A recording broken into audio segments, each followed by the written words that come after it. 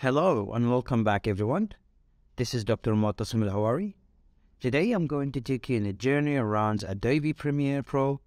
We're going to learn how to import some images and videos, cut those videos for the best practice for our video, and get a professional look video. Please stay tuned until I finish the tutorial. And if you have any question, please do not hesitate to contact me anytime. When you start launching Premiere Pro, you will find a tutorial here which takes you in Premiere Pro step by step, teach you how to use a basic animation, for example, over here, how to speed a specific video within Premiere, and some course review or overview to Premiere Pro. If you go down as well, you might find some tutorials through the web, and in this case, become very beneficial for you if you are familiar with Premiere Pro. Now, starting with the Premiere Pro, you'll find in the top left corner, you have a new project, and this is a brand new project if you're starting from scratch, and you have an open project. This is already existing project that you already have within Premiere Pro.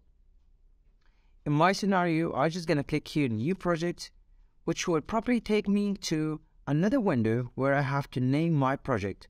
So in here, you find project name, so I'm going to call it test one. And in this case here, you find the place of your video where it's going to be replaced. I'm going to place it here within my desktop. And some videos and some images might be supported at this case, in case if you would like to use those video in future wise. For myself, I'm just going to keep it simple and I'm going to hit create on the bottom right corner. Once you create Adobe Premiere Pro new project, you might be presented with six different frames.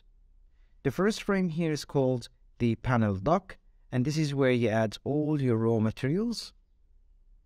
Second frame here, you'll find it is the source monitor, and here you're going to add your videos from the raw panel or the panel dock to your source monitor where you can view your video you can use video only or audio only, and in this case, you can cut parts of the video in and out.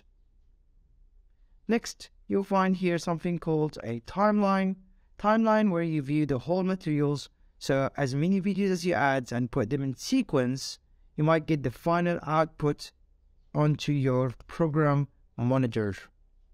Also here, those are the four frame, but we have other two frames here which are quite useful the tool panel where you can use different tools to edit your video. And you might like this one. This is a soundbar where actually it tells you how the sounds appealing to your left or right speakers. Now, let's start our project.